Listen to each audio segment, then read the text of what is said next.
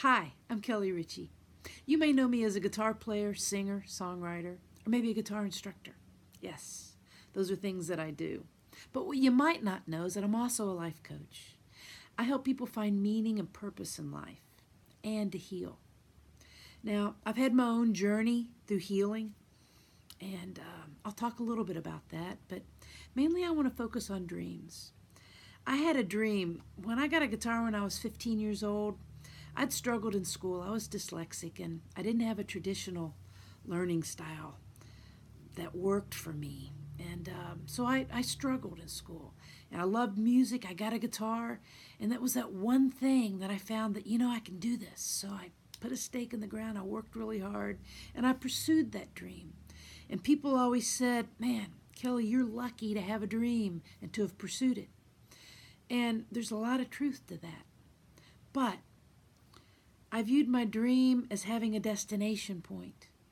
And I kept going and going and going, thinking, well, once I get here, then, well, once I accomplish this, then I'll find happiness. And over time, I began to lose my passion for that thing that I loved most. And there were other things that I had dreamed of doing too. But I had to accomplish this one thing first.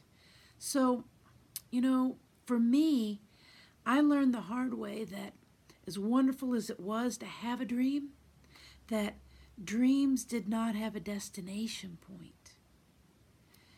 Dreams were a journey. Dreams were a journey that brought happiness to my life at one point. They were what I was passionate about. And so once I began to shift my relationship with my dream or my dreams and allow myself to look at those things in my life that brought me happiness and to pursue them, not as something that I had to succeed at or that there was a finish line that I was going to one day accomplish that dream. There have been many accomplishments that I've made along the path of my musical dream. Once I saw that, that aha moment, ah, I had so much peace. And I had a different relationship, really, in that moment in time with that thing that I had loved so much.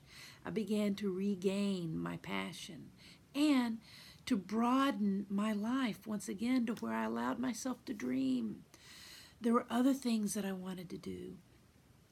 In, in high school, I was dyslexic, so a traditional learning style was not something that I flourished in and um, hence why music became that one thing that I did that I felt, you know, this is something I can do, but writing is something I'd always wanted to do. And I was afraid to say that out loud because I was dyslexic. I never felt good enough. Um, I'd written, I shoved under my bed everything that I'd written, and um, I was afraid to say that out loud. And, you know, that was a dream that I had.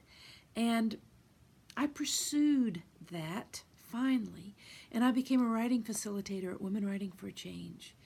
And that's been one of my greatest accomplishments. And I'm still dyslexic, I still struggle with reading, but I write and I own it and I enjoy it. And you don't have to be a writer to write. If you write, you're a writer. So, you know, I'm learning in life that dreams are what make us happy. They're what bring meaning and purpose to life. You know, I, I thought that my life's purpose must be, you know, I'm an artist, therefore that's my purpose in life. I'd mistaken my talent for my purpose. Our purpose is what we do with our talents. That's what brings meaning and purpose to our life. That's where we find what we're most designed to do and to be when we explore those gifts that we have. So, what I would like to find out is what dream do you have that you, maybe you can let yourself explore? What are those passions that you have? What if it wasn't a destination point, something that success or failure couldn't even touch? This is something about happiness that you have that you'd like to share. I'd love to hear what those things are. And they would inspire me And hopefully, some of these things I've just shared might inspire you. So, let's start a conversation. Let's talk about those things that inspire us. And those things that might be holding us back could just be fear that we're turning something simple into something complicated and it doesn't have to be. And maybe we're limiting ourselves from something that could really bring us joy. Let's go for it. Please share. Okay? All right. Thanks for listening. Bye bye.